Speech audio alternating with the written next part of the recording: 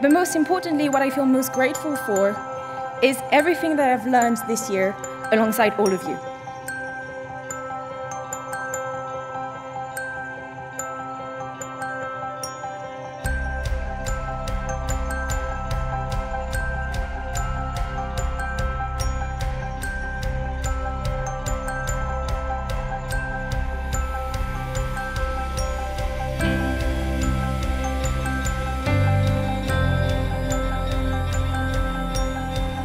I chose it for it is a place for people grow to become powerful and positive change makers.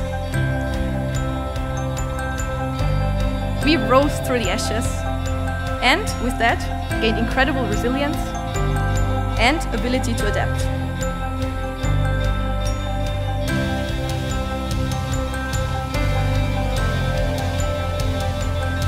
But still we are here today, without a doubt, the bravest EADA graduates of